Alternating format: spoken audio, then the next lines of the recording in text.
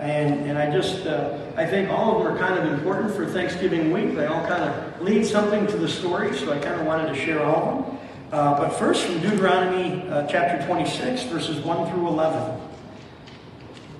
When you have entered the land the Lord your God is giving you as an inheritance, and have taken possession of it and settled in it, take some of the first fruits of all that you produce from the soil of the land uh, that the Lord is giving you and put them in a basket. Then go to the place the Lord your God will choose as a dwelling for his name. And say to the priest in office at that time, I declare today to the Lord your God that I have come to the land the Lord swore to our forefathers to give us.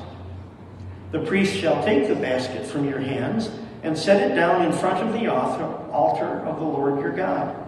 Then you shall declare before the Lord your God my father was a wanderer, wandering Aramean, and that he went down into Egypt with a few people and lived there and became a great nation, powerful and numerous. But the Egyptians mistreated us and made us suffer, putting us to hard labor. Then we cried out to the Lord, the God of our fathers, the Lord, and the Lord heard our voice and saw our misery, toil, and oppression. So the Lord brought us out of Egypt with a mighty hand and an outstretched arm, with great terror and with miraculous signs and wonders, he brought us to this place and gave us this land, a land flowing with milk and honey. And now I bring the, the first fruits of the soil that you, O Lord, have given me. Place the basket before the Lord your God and bow down before him. And you and the Levites and the aliens among you shall rejoice in all the good things the Lord your God has given you and your household. And then Philippians chapter 4, verses 4 through 9. Paul wrote, Rejoice in the Lord always. I will say it again, rejoice. Let your gentleness be evident to all. The Lord is near. Do not be anxious about anything, but in everything by prayer and petition with thanksgiving, present your requests to God. And the peace of God, which transcends all understanding, will guard your hearts and your minds in Christ Jesus. Finally, brothers, whatever is true, whatever is right, whatever is pure, whatever is holy, whatever is lovely, whatever is admirable, if anything is excellent or praiseworthy, think about such things. Whatever you have learned or received or heard from me or seen in me, put into practice, and the God of peace will be with you. And then back to John chapter 6, verses 35, 25 to 35.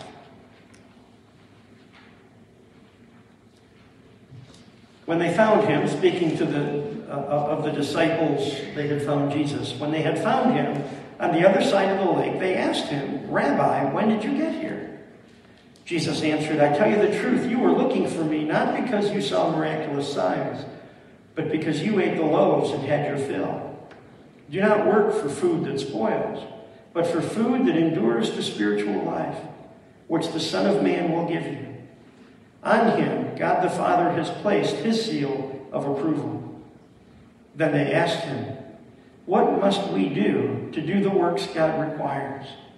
Jesus answered, the work of, the, God, the work of God is this, to believe in the one he has sent. So they asked him, What miraculous sign then will you give me that, that, that we may see it and believe you? What will you do? Our forefathers ate manna in the desert. As it is written, He gave them bread from heaven to eat. Jesus said to them, I tell you the truth, it is not Moses who has given you the bread from heaven, but it is my Father who gives you the true bread from heaven. For the bread of God is he who comes down from heaven and gives life to the world. Sir, they said, from now on give us this bread. Jesus declared, I am the bread of life. He who comes to me will never go hungry, and he who believes in me will never be thirsty. Let's pray. Father God, we thank you for your word. Uh, we pray, Father, that as we go through the lesson this morning, we'll better understand each of these passages. We'll glean something as we look to Thanksgiving and, and our hearts and, and the passages that you've given us. We pray this in Jesus' name. Amen. Back in 1929, the Depression was going pretty good. And in, in November, time for Thanksgiving, uh, the stock market crashed in October, about five weeks before Thanksgiving. There, there were already signs of a severe depression in the country. And, and that year, a group of ministers in the Boston area were trying to decide what to do about Thanksgiving. Maybe they should kind of not ignore it, but at least uh, not dwell too much on Thanksgiving this year, because after all, there's, there's not an awful lot to be thankful for. Maybe we feel the same way today. Um, but back then, there were, uh, there were signs of, of no sign of relief in sights. There were uh, long bread lines. The stock market had, had literally tanked. The word depression was a pretty good word, uh, denoting not just the economy, economic conditions, but the mood of the people in general. Uh, there was a lot of depression around at the time. And the ministers thought that maybe they should just lightly touch on Thanksgiving today. We don't want to remind people how bad it is. We don't want to remind them how little they have. Maybe we'll just lightly touch on Thanksgiving this year. Um, after all, not much to be thankful for. But Dr. William Steiger suggested, he was the pastor at one of the larger churches in Boston, and he suggested that to give a mere mention to Thanksgiving um, isn't what we need. We need just the opposite. We need a full blown kind of Thanksgiving. This year, more than ever, this was the, the time for the nation to get matters into perspective, to realize who's really in charge, to realize who is the author of the gifts and blessings that we do have. Um, to thank God for the blessings that are always present but sometimes hard to see uh, because of all the hardships that we face. Now, you know, we can always find things to be depressed about. We can always find things to be upset or, or leery about or depressed about. Uh, there are always things that make us a little bit nervous about the future. There's always negative news reports. There's always um, disunity. There's, there's the TV news telling us about every bad thing that's, that's ever happened anywhere. Um, there's, there's politics. I think even in light of the election two weeks ago, there's, uh, there's still a huge divide in our country today. Um, all kinds of reasons to be leery of, of, uh, of these times. Uh, maybe you're struggling with something even more personal. Maybe there's a hardship you have, a, a sickness or an illness, or a, a family trial or something that you're going through. That's, that's uh, maybe loss of a loved one, or loss of work, or insecurity in your job. Uh, maybe you have health concerns. Maybe there's, um, maybe there's something else going on that's, that's making it a little difficult to get into the Thanksgiving mood this year. Uh, making it a little difficult to, to be thankful for, for about Thanksgiving this year. Uh, it might not be that easy to find things to be thankful for if that's where you are, I'd like to suggest that maybe the words of Dr. William Steiger might ring true for you. Um, that, that maybe he struck on something worth remembering. The most powerful and passionate times of thankfulness are not found in days of plenty, when we have everything we want, when everything's going great but rather the most powerful moments of thankfulness are found in times of want, when difficulties have us struggling. Think about the pilgrims when they celebrated that first uh, Thanksgiving. That was 399 years ago this year. 399 years. It's a long time, right?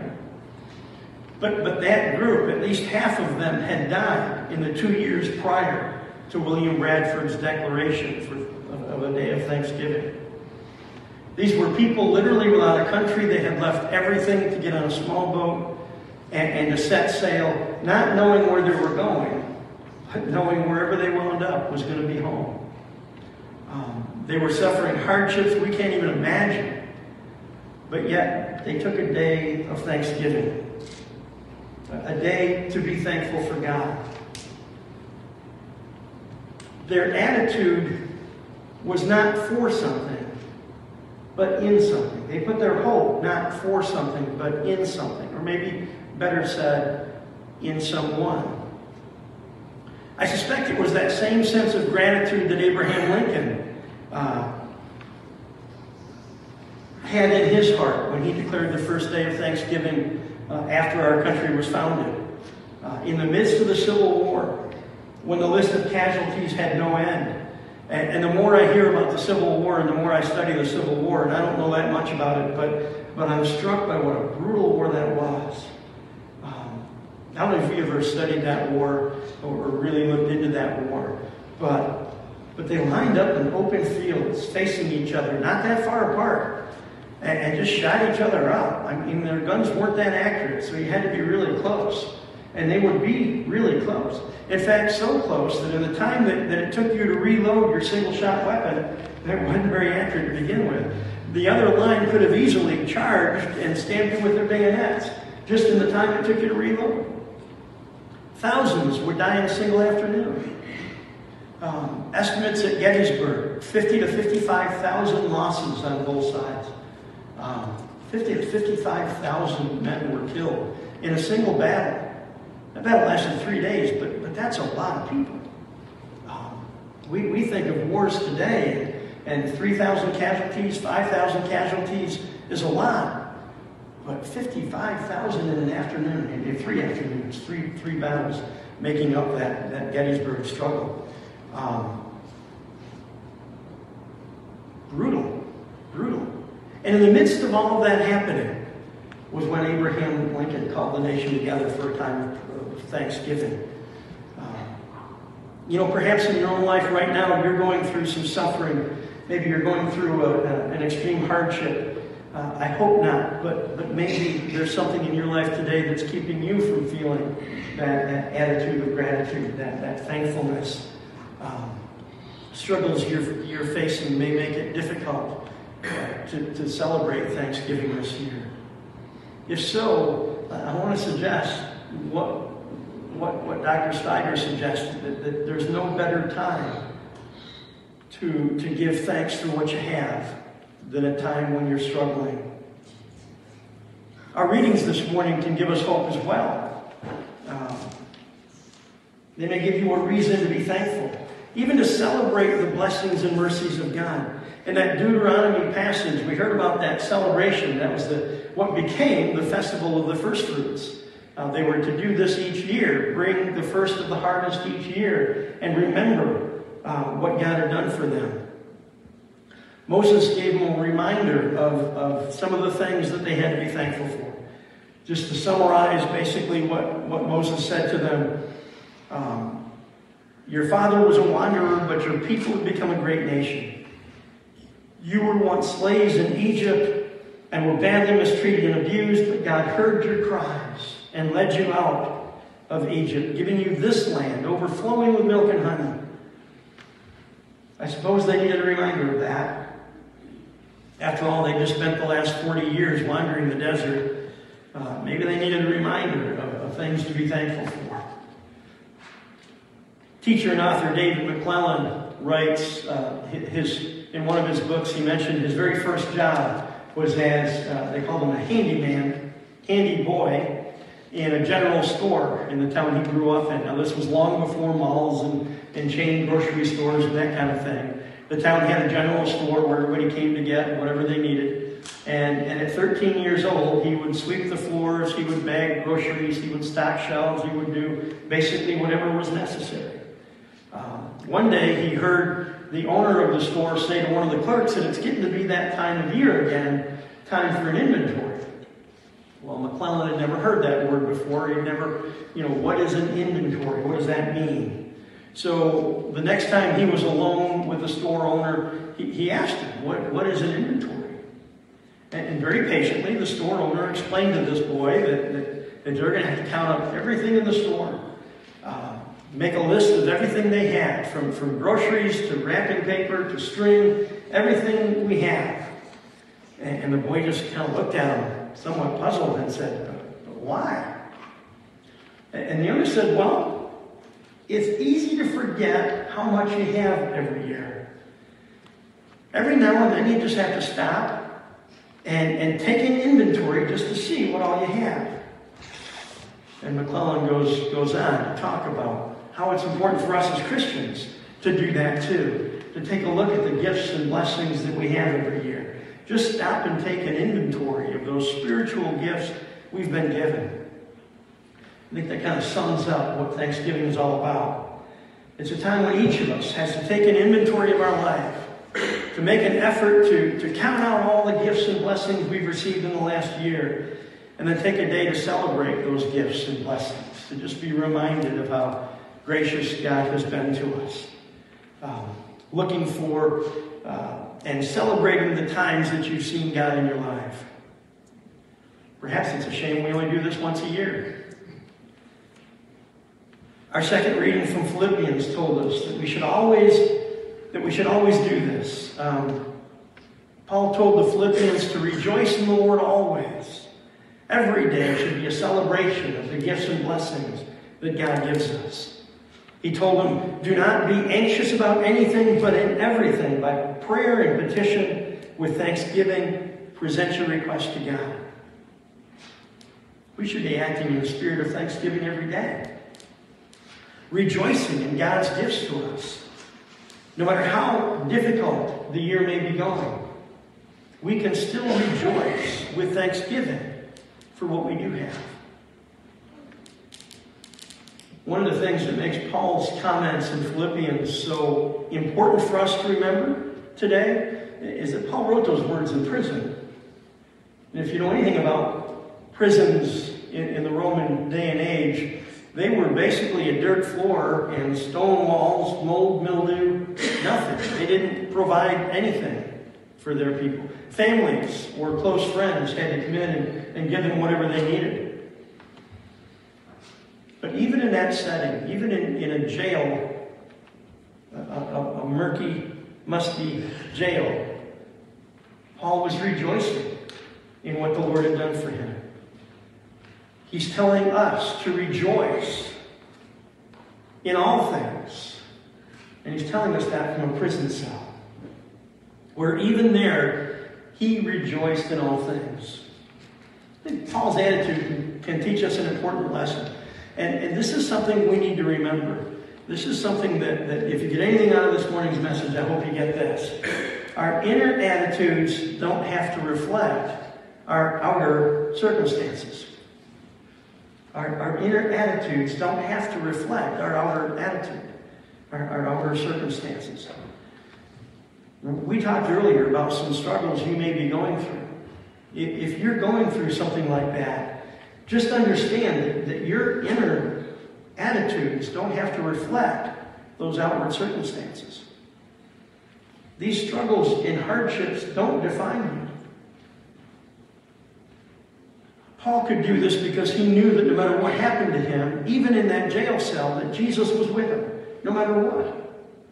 And we, as Jesus' disciples now, know that Jesus is with us no matter what, no matter what struggles we're finding ourselves in. Uh, we know that Jesus is with us. If you know him and you believe in him and you cling to him, then nothing can happen to you that he won't help you through. Paul urged the Philippians to be thankful in all things. It's, it's so easy to get discouraged when things don't go the way you hoped. But don't let those discouragements rob you of your joy. Don't let the struggles and hardships take away the peace that Christ gave you. If that's been happening to you, then get back to Jesus. Look at your struggles from his point of view. Realize that he is more powerful than anything you're going through, and, and let him help you through. How do we realize that rejoicing and attitude of thanksgiving in our own life? I think that our reading in John will help. Prior to this passage, we read in John that Jesus had fed 5,000 people gathered on the mountainside. Most of the people had, had seen some of his miracles and they were following him because they liked the miracles. It's not that they necessarily believed in what he was saying, they just liked to watch him perform miracles. Um, the healings were miracles. Feeding 5,000 people with a couple of loaves is a miracle. They kind of wanted to know what he was going to do next. It was like going to a magic show. So they followed him to find out what he would do. They were just looking to see what he'd do next. Um, they, they had seen several miracles, and then they even got a free meal out of it. They were just going to hang out with him just to see what was coming. Um, that's why by the end of the chapter, most of them turned away and, and no longer wanted to follow him. That's why, that's what he's trying to teach them here. They needed to believe in him. That was his message. They asked him point blank, as clear as they could, what must we do to do what God uh, requires? And Jesus answered them just as clearly. The work of God is this to believe in the one he has sent. Believing in Jesus is what we must do to do what God requires of us. That's it. Just believe in him who God sent. We know John 3.16, right? For God so loved the world, he gave his one and only Son, that whoever believes in him shall not perish, but have life everlasting. Believe in him. 1 John 3.23. Uh, and this is his command, to believe in the name of his Son, Jesus Christ, and to love one another as he's commanded us.